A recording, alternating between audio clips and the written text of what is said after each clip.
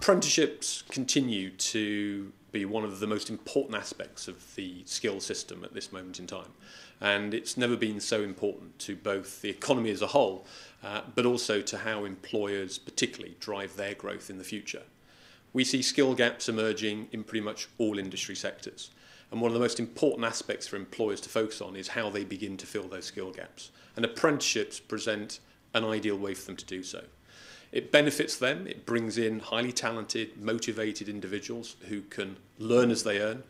And it's very clear that in many cases, apprentices that start their careers with organisations are very much more committed, they're more loyal, and actually deliver real productivity and economic benefits back to the employer. For the learners themselves, it's a great way to enter the world of work. It certainly doesn't prevent them from getting a degree if they so wish the most important aspect is they're learning a trade, they're learning their skill, they're contributing to the economy from the very first day they enter the workforce.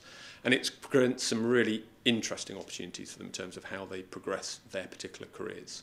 So apprenticeships are incredibly important. They're important to employers, they're important to individuals, and therefore it's important to the economy as a whole and how we grow. So I'm delighted to see the focus that we're seeing on apprenticeships, and the focus has to continue over the coming years. The City & Guilds Group has recently published a report with the Sitting City & Guilds Alliance, which involves AELP, 157 Group, and the Centre for Real World Learning, part of the University of Winchester. And that piece of research was very much focused around remaking apprenticeships.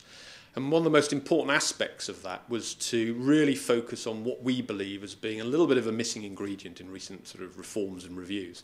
And that's about the quality of the learning experience. A lot has been done about structural reform, and that's good, it's welcome. We think it helps the system as a whole.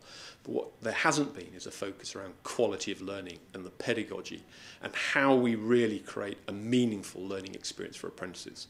So we've put that report together, we've made some very, very clear recommendations, and we're looking forward to it actually getting more traction, stimulating the debate, raising awareness of what we think needs to be done in the future.